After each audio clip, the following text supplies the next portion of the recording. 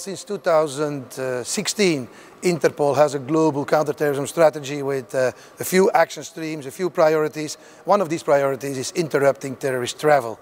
So, since that strategy, it helped us to develop operations, cross-regional operations, and uh, to know the travel routes of these people.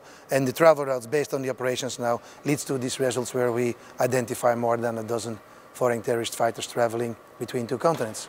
Today, Interpol holds a database accessible for all our member countries with more than 50,000 uh, nominals of foreign terrorist fighters. On top of that, we also have a database available for our analysts to connect the dots between the different uh, countries, and that database has more than 400,000 uh, identifiers. The United Nations wrote uh, two United Nations Security Council resolutions, what uh, urges the countries to share information with Interpol on these foreign terrorist fighters. And of course also that resolution is very helpful for Interpol.